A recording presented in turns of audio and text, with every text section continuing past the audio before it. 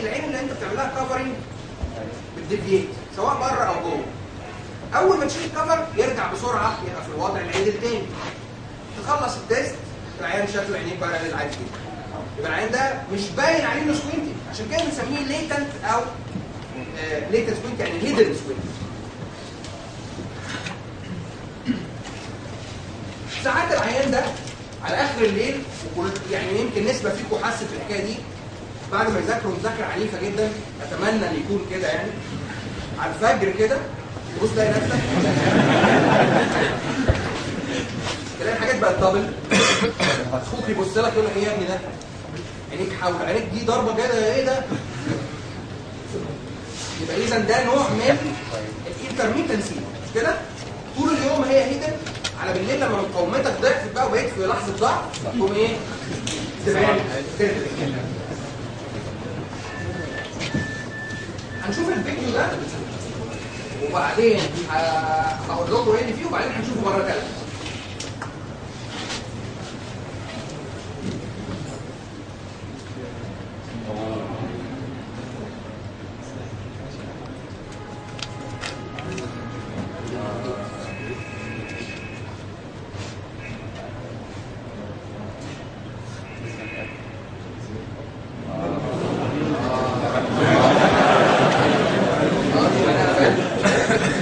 الولد ده في الأول وفي الآخر عينيه باراليل عادي جدا لما الكفر على أي عين من العينتين تبقى مش شايف من خلال الكفر مش كده؟ ولا حاجة ولا إيه؟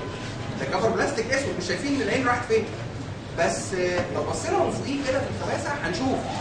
أو أول ما نشيله هتبص تلاقي العين اللي كانت محذوفه لبره دي بسرعة جدا. بقت عدل مش كده؟ ساعات الطفل اللي عنده أو الشخص اللي عنده heterophoria ده يقاوم.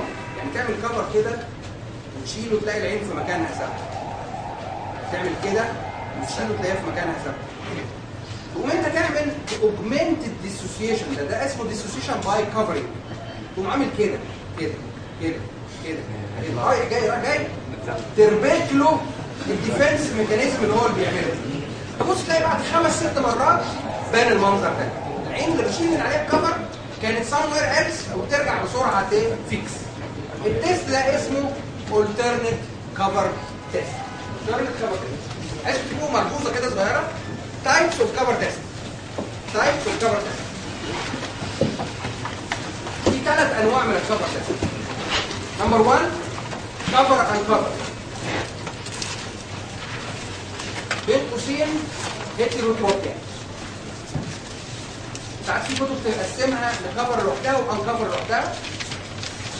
انما إحنا مع بعض. cover uncover بين قوسين to diagnose heterotropia نمرة اثنين alternate cover test بين قوسين heterophoria اللي إحنا بنتكلم عنه النهارده نمرة ثلاثة prism and alternate cover test بين قوسين measurement of phoria and tropia بيقيس كله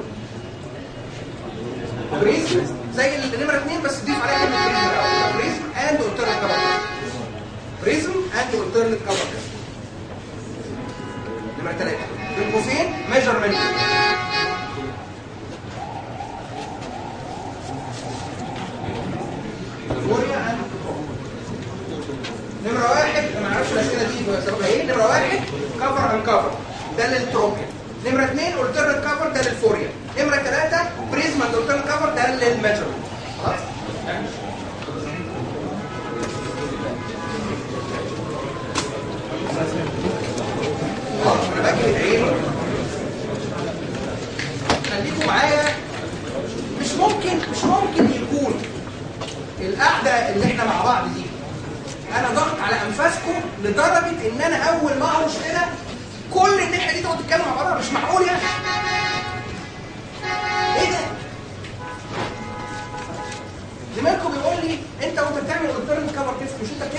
أيوه أنا قصدي اجري العين.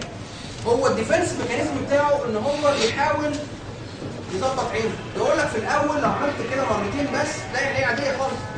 ده أنا I'm challenging his correction آه؟ I'm challenging his defense. بان أنا اقعد اكرر الكلام ده. Am بنعمل الحكاية دي بنسميها you are breaking the fusion. breaking يعني ال fusion اللي عنده ده اللي هو بيقاوم the tendency أنا بكسره عشان يبان لي تاني هيسامحني بعد كده هو العيان عارف إن ده مصلحة مش كده؟ بعد إذنك يعني يعني مش هيزعل مني ولا حاجة لا لا هقول لك الفلسفة دي بتاعت إيه؟ بتاعت ال stress EC G أنت لو عملت ECG لواحد ماشي كده أو قاعد بيشرب نسكافيه في النادي هتلاقيه جميل جدا مشيه على المشاية وشوفوا الوقت ده ليه؟ لمصلحتي ليه؟ علشان في وقت تاني أنا مش شايفه فيه ابقى ضامن انه لو اتعرض ل stress مش هيحصل له كده؟ هنشوف الفيديو مرة ثانية معلش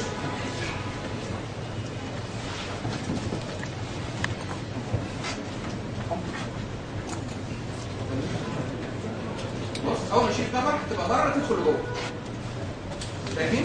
العين كذلك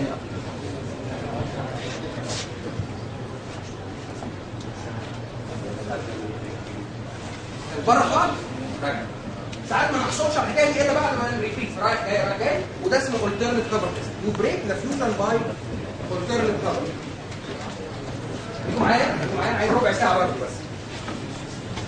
ال test الثاني إن إحنا we will break fusion by distortion. هو مشكلة الشخص ده إن هو لو بصص على لمبة كده ولقى اللمبة دي بقت double نتيجه ان عينه deviated هيدرك إن دي بقت double يقوم مقاومها وعادلها ويشوفها single كده. فأنا هحاول أقنعه إن اللي بيشوفه اتنين ده مش diplopia ولا حاجة فيسيب نفسه. ليه؟ طيب فهحط له Maddox rod Maddox rod ده عبارة عن device كده عدسة فيها بارز كده cylinders جنب بعضها. من مميزاتها إنها لما تشوف من خلالها لمبه تبان على هيئه خط عمودي على السيلندر دي. شفتوها؟ يعني لما أمسكها كده وأشوف بيها لمبه دي تبان خط فلو عايز ابين خط بالطول أحط السيلندر دي بالعرض فهنحط ال Maddox rod ده قدام العين اليمين. وأوري العيان ده نقطة لمبة من بعيد. كويس؟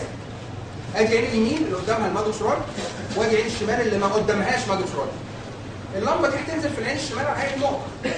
وال brain هيفهم إنها موجودة هنا في النص. العين اليمين انتهزت فرصة إن قدامها حاجة. داخلة لجوه كده. هي المفروض بتستقبل خط مش نقطه وحتى امعانا في ال dissociation عملناها أحمر عشان يبقى كمان color كمان. العيان ما يدركش إن دي diplopia خالص. فهينزل على العين اليمين خط بالطول. المفروض إن هو يستقبل الخط بالطول ده بال fovea بتاعته. لا ده العين دي الوضع ال resting بتاعها إنها تدخل جوه كده. فنزل على nasal point وإحنا اتفقنا لما العين تروح كده صورتها تروح كده. يبقى هي نازلة على nasal point it will be projected as if coming from the temporal field of this eye. كأن الخط ده هنا. فيشوف الاثنين على بعض. خط هنا ونقطة هنا. لو كان الشخص ده orthophoric سواء كان حاطط Maddox rod أو مش حاطط العلاقة بين عين- عينيه ideal كان هيشوف الخط وفي وسطيه لمبة. مش كده؟ إنما لما يشوف خط هنا ونقطة هنا معناها إن عينه دي deviated under the Maddox rod لما بنعمل ده لحد فيكم في الأول يقول أنا شايف خط هنا ونقطه هنا وبعدين يتصل كده ومرجعهم على بعض تاني. لأنه فاهم إن دي diplopia مش كده؟ يقوم عادل عينه ويجيبهم على بعض ورا. خلاص؟ يعمل كده بالظبط. طب لو عشان برضه هتسألوني كتير في الحكاية دي لو العين اللي تحت ال Maddox rod دي طالعة لفوق بيجيب له سؤال في ال MCQ الغرض منه لخبطتكم في الحتة دي. وممكن ألعب لك بقى في ال Maddox rod مش قدام العين يمين العين شمال ماشي؟ فأنت تبقى دقيق جدا وأنت بتقرأ رأس السؤال. ال Maddox rod ده السيلندر بتاعته بالعرض ولا بالطول عشان هيبين لك الخط بالطول ولا بالعرض وبعدين ال Maddox rod محطوط قدام عيني. إيه لو ال Maddox rod محطوط السيلندر بتاعته بالطول هيبين لك النقطة خط من العرض؟ فأنا عايز أفحص في vertical phoria ولا لأ؟ أو حاطه قدام العين اليمين مثلا. العين اليمين هتنتهز الفرصة وتقوم طالعة لفوق كده. يبقى المفروض الخط اللي بالعرض اللي كان المفروض ينزل على ال fovea نزل على upper ريجل وهيبقى projected as if coming from the lower field. فالعيان بالعينتين مع بعض هشوف إيه؟ خط تحت ونقطة فوقيه يبقى برضه عشان ما تتلخبطش. في جميع الأوضاع العين لما تتحرك في وضع صورتها تروح العكس. ما تنساش الجملة دي. لما العين تتحرك لجوه صورتها تروح بره لما العين تتحرك لتحت صورتها تروح فوق. and so ده ال Maddox rod وما فيهوش أي اي فزلكه الثاني اسمه Maddox wing شفتوه؟ Maddox wing ده برضه عبارة عن حتة صفيحة كده خطيرة للغاية. مرسوم عليها الرسمة دي.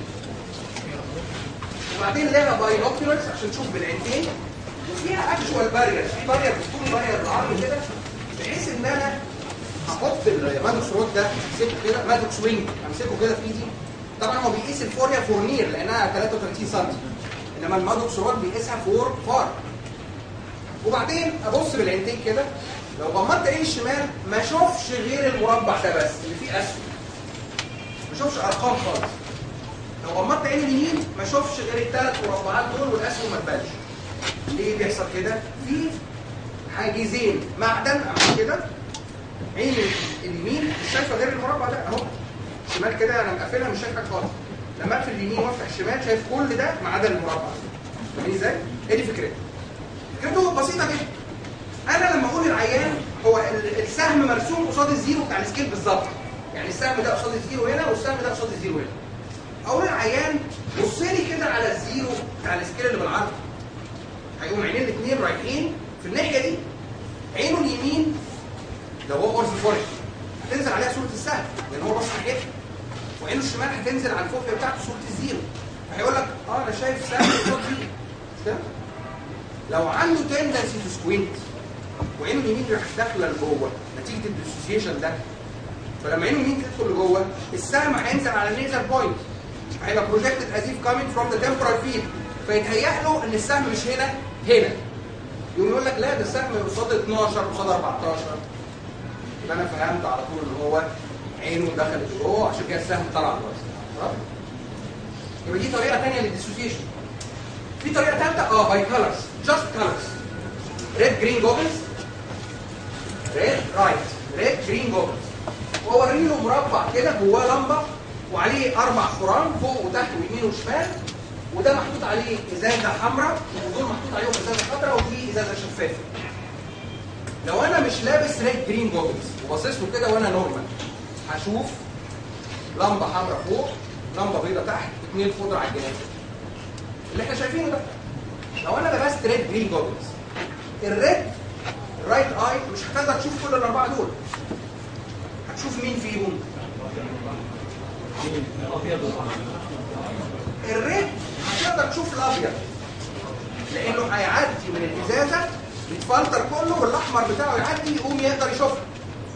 الأحمر اللي فوق هتعدي برضه لأنها مسموح لها لأنه فلتر بلونها إنما الاثنين الخضر هيبقوا absorbed ومش هيشوفوا فالعين اليمين مش هتقدر تشوف غير النقطتين فوق بعض والاثنين حمر زي بعض بالظبط. خلاص؟ العين الشمال بال green filter اللي قدامها. هتشوف مين في الأربعة دول؟ ثلاثة هتشوف دي ودي ودي هتبان لها خضرا واللي فوق مش هتشوفها خالص. العيان ده لو كان orthophoric وبص بالعينتين through the red green goggles على الأربعة دول هيشوف كام؟ عين بيشوف اثنين شمال بيشوف ثلاثة هيشوف كام؟